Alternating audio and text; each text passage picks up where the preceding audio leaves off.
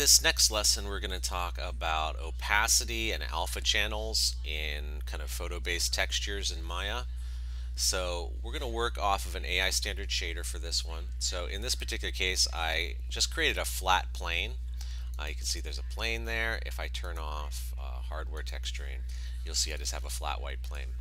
Uh, but when I turn that hardware texturing back on you'll see I've basically applied an image and just to kind of show you what this file looks like we have the original maple leaf image here, which was a JPEG. And then I created a black and white version of it to turn it into a bump map. That's why it has that little bumpy texture to it. And then I created an alpha version of that, which is basically just a white copy of it with a black outline on it, right? So it's really easy to do this stuff in Photoshop, uh, particularly if you have an image like this um, that already has a white background. You can use color range or if you want to be fancy, you can kind of go around the whole thing with a pen tool. I'm not going to show all those processes in Photoshop right now, uh, but you could make a selection off of it that way. Um, actually, you know what? I will show it to you in Photoshop because I happen to have the original Photoshop file that I created. So let's just take a look. So if I open this up in Photoshop, I'll get rid of this Learn panel. Actually, let me change this workspace back to my. There we go least get this back to somewhat normal. Um, and if I go and look in here, boy, my Photoshop updated, so there we go. Let's bring in paths. You'll see I actually outlined this guy uh, with a pen tool. And when you outline, like basically I sat there and took my pen tool and, you know, drew my shapes all the way around this object, blah, blah, blah, blah, blah, until I finished it off and, and closed it off in the end. Um, I'm going to do undo all that Oh, let's go to history.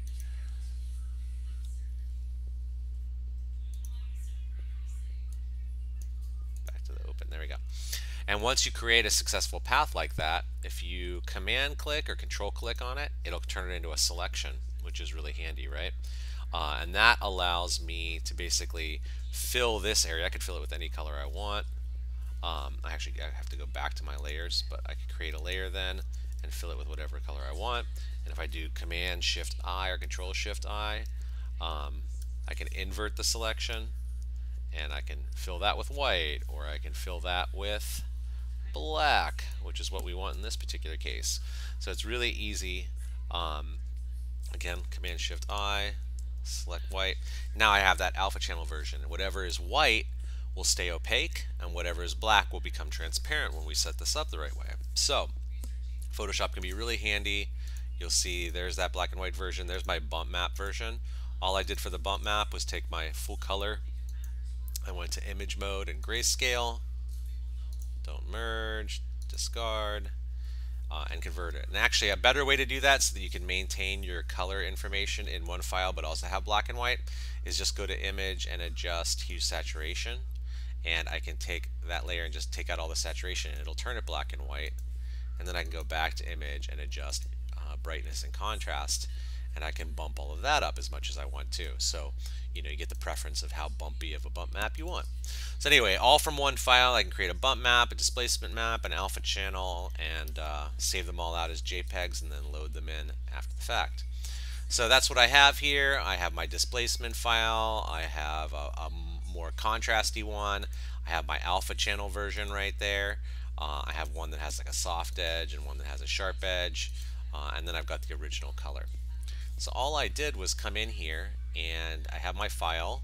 Uh, I placed a, if I click on this guy you'll see I have loaded in the original image to put that actually on the plane and then when I go back out um, you just come down to geometry on an AI standard shader. So, you know, we all know base, specular transmission. The base is off of the color where I put that original image. And then I just scroll down to geometry and open that up.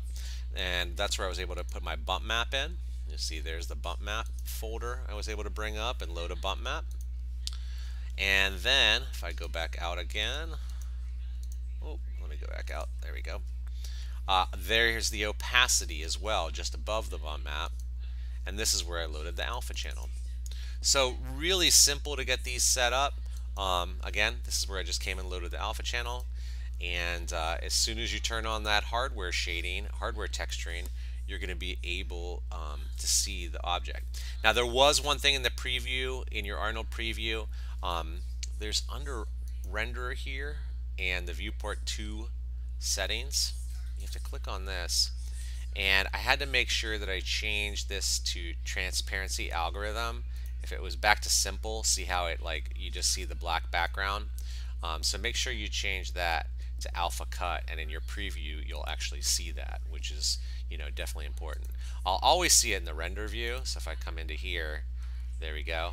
This guy obviously needs a little bit of rendering done to it a little bit more light to it. Um, but you'll be always be able to see that no problem at all uh, but if you want to see it in your viewport that was again under viewport settings change your viewport settings to alpha cut but yeah, it's a really nice, simple way to be able to create some transparency from an image versus me having to like model this whole leaf out. Um, I could have taken like a pen tool and you know outlined it and extruded it, uh, but another quick way to do that is with an alpha channel. So nice to know different ways to do transparencies. Um, yeah, and I think that's uh, that's about it. It's short and sweet. Thank you.